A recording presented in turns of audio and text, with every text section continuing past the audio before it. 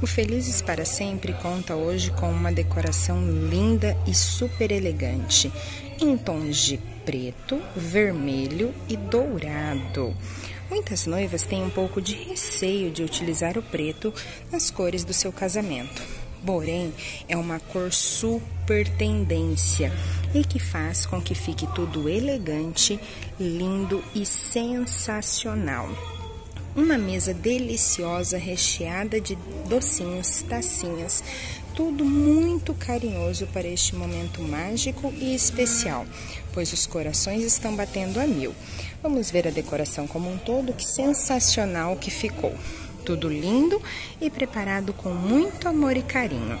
Vejam o salão também, que espetáculo!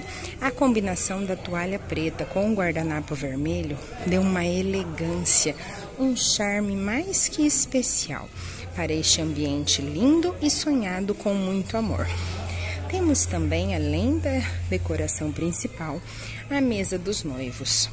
Um casal que já vive junto há algum tempo e que hoje vem eternizar o seu sonho.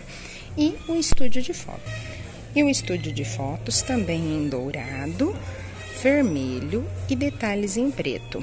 Aqui, como serão a foto dos padrinhos, nosso fundo foi em dourado, para dar ainda mais elegância para este momento mais que especial.